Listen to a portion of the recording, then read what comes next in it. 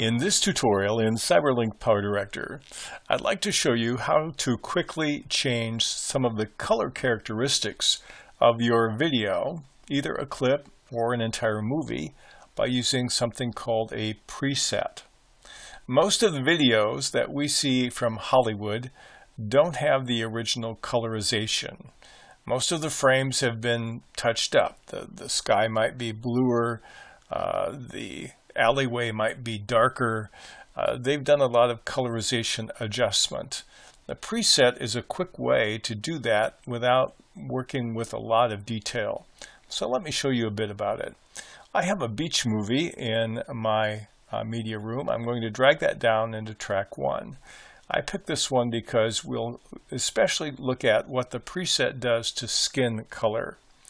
And so we're going to click on Fix Enhance.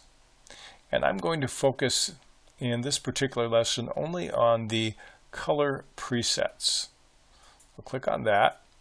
And now I have several options here. I have all presets, default presets, or downloaded presets, or sports ones. If I click on the sports ones, I have three to pick from. And if I click on one, I will see the impact in the preview window. I can actually play it to see the impact for a longer period of time. And if I click on Snowfield, I'll continue playing the video and you get to see what that does to it, or underwater. You can only pick one preset and the green check mark will move from one to the other.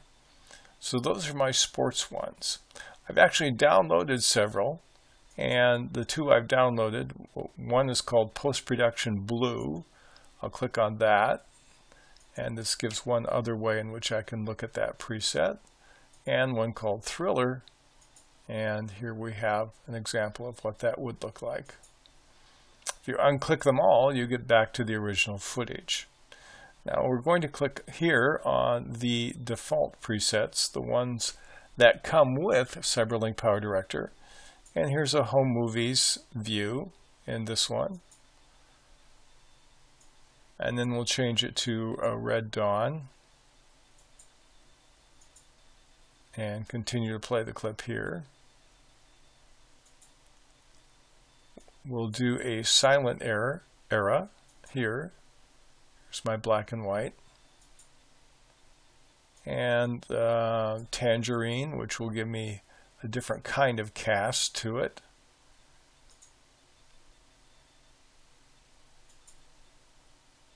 And then we'll try a washout over here and that's what it looks like. So if you want a certain kind of effect in your film, this is a great way to use it. Here's one you often see called Dreamy. I'll click on that and it'll kind of soften the edges here.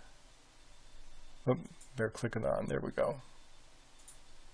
And just a little bit hazy, fuzzy Uh, out of focus on the edges on this one. So that's a very quick way to do a lot of color adjustments in your video in CyberLink PowerDirector. You can apply them to a, the clip or you can apply the qualities to the entire movie. And it's a lot quicker than going into the individual tools that you see on the left above.